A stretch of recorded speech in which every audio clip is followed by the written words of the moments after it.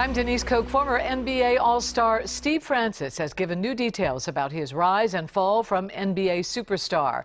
The former Maryland Terrapin wrote about his experiences in a first-person story for the Players Tribune.